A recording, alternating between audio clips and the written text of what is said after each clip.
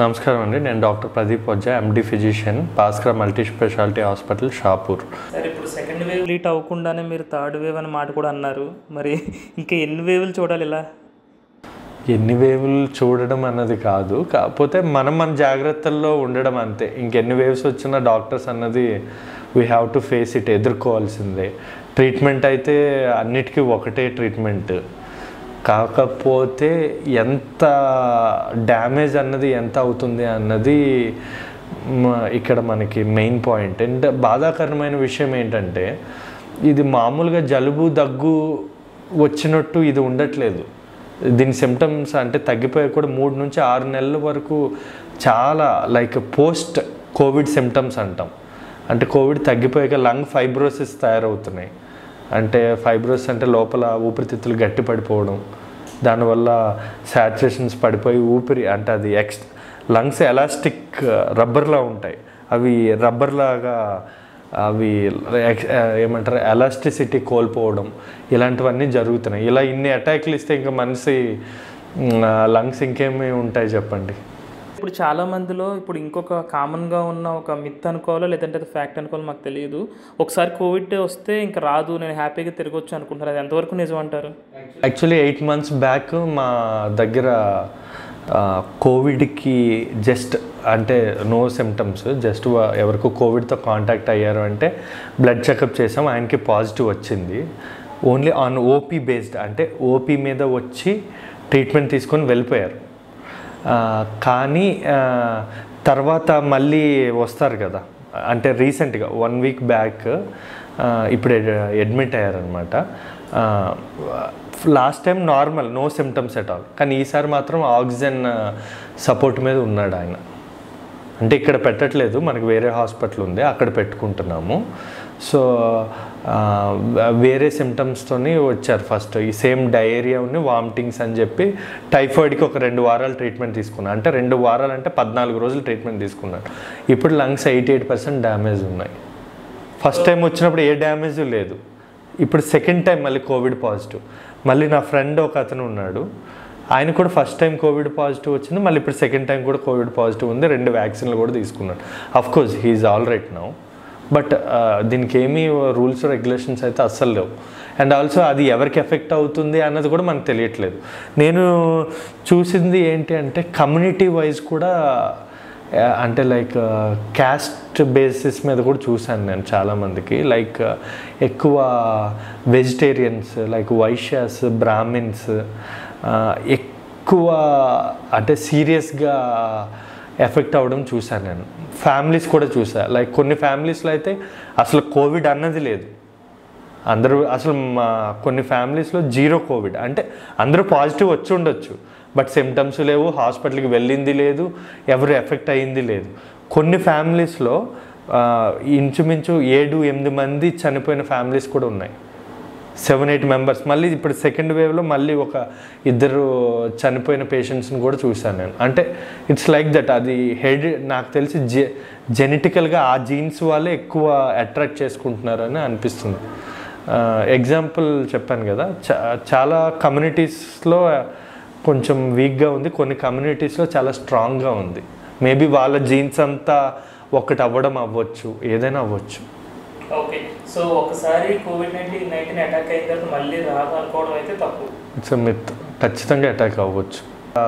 ఈసారి వ్యాక్సిన్స్ గురించి చాలామందికి డౌట్ ఉంది. అసలు వ్యాక్సిన్స్ వేస్తే అవి పనిచేస్తున్నాయా లేదా అని చాలామందికి డౌట్ ఉంది. పర్సనల్గా చెప్పాలంటే నేనైతే వ్యాక్సిన్ ఇంకా తీసుకోలేదు. అఫ్కోర్స్ నాకు ఆల్రెడీ ఫ్రీగా వ్యాక్సినేషన్స్ ప్రొవైడ్ చేశారు బట్ తీసుకోలేదు. ఎందుకంటే బికాజ్ నేను యాంటీబాడీస్ చెకప్ చేశాను. సో నాకు ఐజీఎం ఐజీజీ అనే ఆల్రెడీ బాడీలో యాంటీబాడీస్ ఉన్నాయి కదా అని చెప్పి నేను తీసుకోలేదు. మెల్లగా తీసుకుందాం అని చెప్పి. మామూలుగా యాంటీ కరోనా రెండు వ్యాక్సిన్స్ వేసుకున్న వాళ్ళు కూడా నా దగ్గర ఇప్పుడు అడ్మిషన్స్ ఉన్నారు కొంతమంది. అంటే వ్యాక్సిన్ తీసుకొని పాజిటివ్ వచ్చిన వాళ్ళు ఉన్నారు.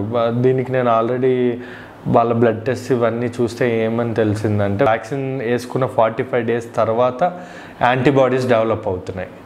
సో అందువల్ల ఇప్పటికైతే వ్యాక్సిన్ ఎంతవరకు యూజ్ అన్నది చెప్పలేము బట్ డెఫినెట్లీ అందరూ వ్యాక్సిన్స్ వేయించు వేసుకుంటే చాలా మంచిది.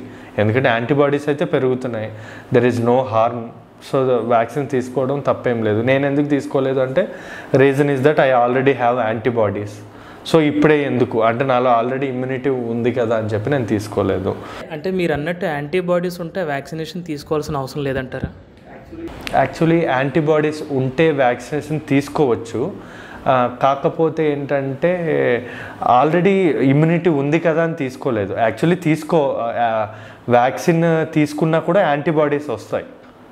ఒక ఫార్టీ ఫైవ్ డేస్ తర్వాత వస్తాయి అన్నమాట ఇప్పుడు కాకపోతే అది ఎన్ని రోజులు ఉంటాయి అన్నది ఒక క్వశ్చన్ నెంబర్ వన్ క్వశ్చన్ అంటే ఇప్పుడు వ్యాక్సిన్ వేసుకుంటాం యాంటీబాడీస్ పెరుగుతాయి కానీ అవి ఎన్ని రోజులు ఉంటాయి అన్నది ఒక క్వశ్చన్. ఇప్పుడు ఫర్ ఎగ్జాంపుల్ నాకు కోవిడ్ వచ్చింది అనుకోండి యాంటీబాడీస్ అనేవి వస్తు- ఉంటాయి కానీ మూడు నెలల్లో డ్రాప్ అయిపోతున్నాయి యాంటీబాడీస్ అన్నవి మరి వ్యాక్సిన్ కూడా తీసుకున్నప్పుడు సేమ్ మళ్ళీ వ్యాక్సిన్ కూడా తీసుకున్నప్పుడు సేమ్ అలాగే డౌన్ అవుతాయేమో అని చెప్పి నా యొక్క డౌట్. దానికి ప్రాపర్గా ఎక్కడ కూడా అవగాహన లేదు. ఈవెన్ బీజింగ్లో ఇప్పుడు ఆల్రెడీ సెకండ్ వేవ్ స్టార్ట్ అయింది. ఆల్రెడీ దే నా ఫ్రెండ్ ఒక అతను ఉన్నారు. There lots of deaths are reporting. అంటే చాలామంది చనిపోతున్నారు బీజింగ్లో.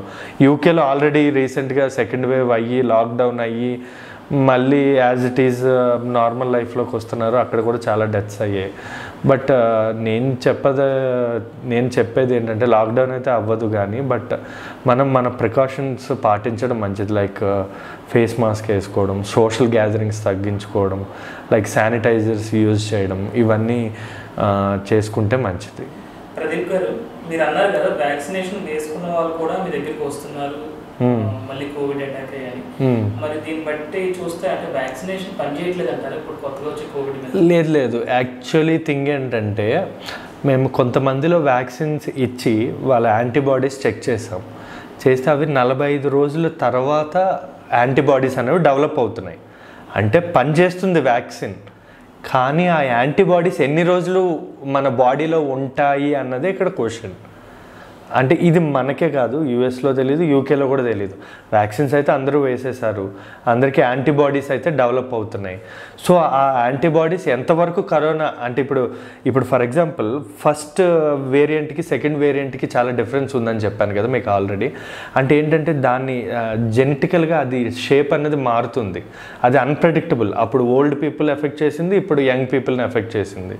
అప్పుడు సిమ్టమ్స్ ఏమో కాఫ్ కోల్డ్ ఫీవర్ ఉన్నాయి. ఇప్పుడు సిమ్టమ్స్ ఏమో ఫస్ట్ మోషన్స్ వామిటింగ్స్ బాగా వీక్నెస్ అని చెప్పి పది పదిహేను రోజులు ఇబ్బంది పెట్టి తర్వాత సీరియస్ అవుతుంది. సో నేను అనుకోవడం ఏంటంటే second wave is more dangerous then first wave ఎందుకంటే ఫస్ట్ వేవ్ ఈజ్ ప్రెడిక్టబుల్ అంటే అట్లీస్ట్ మనకి కాఫ్ అని ఫీవర్ అని ప్రెడిక్ట్ చేసేవాళ్ళం. ఇక్కడ ప్రెడిక్షన్ చాలా తక్కువ ఉంది. లేట్గా తెలుస్తుంది. తెలిసేసరికి ఎయిటీ పర్సెంట్ లంగ్స్ డ్యామేజ్ అవుతున్నాయి. యంగ్ పీపుల్ ఎక్కువ ఎఫెక్ట్ అవుతున్నారు. సో నేను వ్యాక్సిన్ గురించి అయితే మీకు ఎగ్జాక్ట్గా నేను చెప్తున్నా కదా మనకు ఇంకొక త్రీ టు సిక్స్ మంత్స్ పడుతుంది. ప్రజెంట్ అయితే వ్యాక్సిన్ పనిచేస్తుంది. అట్లీస్ట్ తీసుకోవాల్సిందే వ్యాక్సిన్స్ అయితే. తర్వాత పనిచేస్తుందా లేదా అన్నది మనం ఓ సిక్స్ మంత్స్ తర్వాత తెలుస్తుంది. ఇప్పుడు అడ్మిట్ అయిన పేషెంట్స్ ఉన్నారు. వాళ్ళు రెండు డోసులు వేసుకున్నారు వ్యాక్సిన్స్ అయినా అడ్మిట్ అయ్యారు. అయినా కోవిడ్ వచ్చింది. ఎందుకంటే ఇంకా ఫార్టీ ఫైవ్ డేస్ తర్వాత మెల్లమెల్లగా అవి డెవలప్ అవుతాయి. వ్యాక్సిన్ పని ఏంటి? ఆ, వ్యాక్సిన్ పని ఏంటంటే మీకు సింపుల్గా చెప్పాలి అంటే మన బాడీలో కరోనా లాంటి ఒక వై ఒక ఏమంటారు? ఏమీ చేయలేని సెల్స్ని వదులుతారు వ్యాక్సిన్ ద్వారా. అవి మన బాడీకి ఎటువంటి హాము కాజ్ చేయదు. కాకపోతే అప్పుడు మన బాడీలో ఉన్న యాంటీబాడీస్ ఉంటాయి. అవి దానికి రియాక్ట్ అయ్యి రెడీగా ఉంటాయి దాన్ని చంపడానికి. కానీ ఆ వైరస్ మనం వేసుకున్న వ్యాక్సిన్ వల్ల ఏమీ మనకి ఇబ్బంది ఉండదు. కానీ అవి రెడీగా ఉంటాయి. సో మనకి నిజంగా కరోనా వచ్చినా మన బాడీ యాక్టివ్ ఉంటుందన్నమాట. కానీ అవి ఎన్ని రోజులు యాక్టివ్ ఉంటాయి? మన బాడీలో ఉన్న యాంటీబాడీస్ అన్నది మనకి ఇప్పుడు ఒక క్వశ్చన్ ఉంది. అండ్ ఒక పక్క ఇది మ్యాన్ మేడ్ అయి ఉంటుందని కూడా మీకు డౌట్ ఉంది అని అన్నారు. అసలు ఎందుకు ఆ డౌట్ వచ్చింది? మ్యాన్ మేడ్ అని ఎందుకు అనుకుంటున్నారు మీరు? అంటే మీరు ఏం చదవరు? అసలు ఆ టైంలో కరోనా వైరస్ గురించి ఏం తెలుసుకున్నారు మీరు?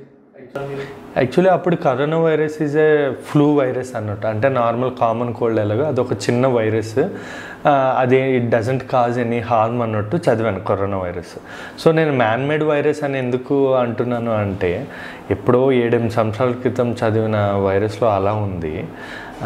ఇప్పుడు ఇది జెంటికల్గా మ్యూటెంట్ అవుతూ మారుతూ వస్తుంది. అంటే దాని షేప్గా అంటే మీకు క్లియర్గా అర్థం కావాలంటే చెప్తాను చూడండి. ఇప్పుడు మనకి కరోనా వైరస్ మనకు వచ్చింది అనుకోండి మన బాడీలో ఇవి ఎఫెక్ట్ అయితే అయి అవుతుంది. కానీ ఖచ్చితంగా మన బాడీలో యాంటీబాడీస్ తయారయ్యి దాన్ని అటాక్ చేస్తాయి కరోనా వైరస్ని. సో నెక్స్ట్ టైం మళ్ళీ వచ్చిందంటే దాని ఎఫెక్ట్ తక్కువ ఉండాలి. మామూలుగా అయితే ఇది జరిగేది. కానీ ఇక్కడ ఏమవుతుంది అంటే ఈ దాని మ్యూటేషన్ దాని షేప్ అంటే దాని మ్యూటేషన్ వల్ల అది మారుతుంది దాని షేప్. మళ్ళీ రెండోసారి వచ్చిందంటే మన బాడీ దాన్ని గుర్తుపట్టలేకపోతుంది. ఎందుకంటే దాన్ని జన్యు రకంగా అది చేంజ్ అవుతుంది ఆ వైరస్.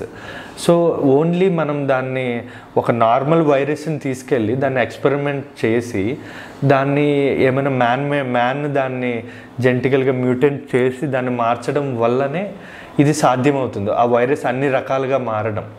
ఎందుకంటే మామూలుగా అన్ని వైరస్లు ఒకే రూపంలో ఉంటాయి. కానీ షేపులు ఇవన్నీ చేంజ్ అవ్వవు కదా. కానీ ఇది చేంజ్ అవుతుంది. ఫస్ట్ వేవ్ అలా ఉంది. సెకండ్ వేవ్ ఇప్పుడు వేరేలా ఉంది. మళ్ళీ థర్డ్ వేవ్ అనేది నాకు no one have idea. Even మన యుఎస్లో ఉన్న యూకేలో ఉన్న ఏ సైంటిస్ట్కే ఐడియా లేదు. దీన్ని కనిపెట్టిన వాళ్ళకే ఐడియా ఉండాలి. మేబీ వాళ్ళకే ఐడియా ఉండకపోవచ్చు. ఉంటే వాళ్ళు ఇంత జ జరుగుండేది కాదు యాక్చువల్లీ. యాక్చువల్లీ జపాన్ సైంటిస్ట్ కూడా సేమ్ ఈ వైరస్ అన్నది సమ్ మ్యాన్ మేడ్ వైరసే. ఎందుకు అంటే వాళ్ళు కూడా కొంచెం ఎక్స్ప్లెనేషన్ ఇచ్చారు దీని గురించి. ఆయన చైనాలో వాళ్ళతో టీంతో వర్క్ చేసిన చేశారంట ఒక వుహాన్ ల్యాబ్లో. తర్వాత ఈయన జపాన్ వచ్చేసాక మళ్ళీ ఈ ఈయన ఆ సైంట్ సైంటిస్ట్తో కాంటాక్ట్ చేయడానికి చూసినప్పుడు ఒక్క సైంటిస్ట్ కూడా ఫోన్స్ లిఫ్ట్ చేయడం కానీ వాళ్ళ ఐడెంటిటీ కనుక్కోవడం కానీ జరగలేదు. మేబీ వాళ్ళందరూ చనిపోయి ఉండొచ్చు లేదా వాళ్ళ గవర్నమెంట్ దాచేసి ఉండొచ్చు ఏమైనా అయి ఉండొచ్చు. నేను అనుకోవడం అయితే మ్యాక్సిమం ఆ సైంటిస్ట్ అంతా చనిపోయారని అనుకుంటున్నాను నేనైతే.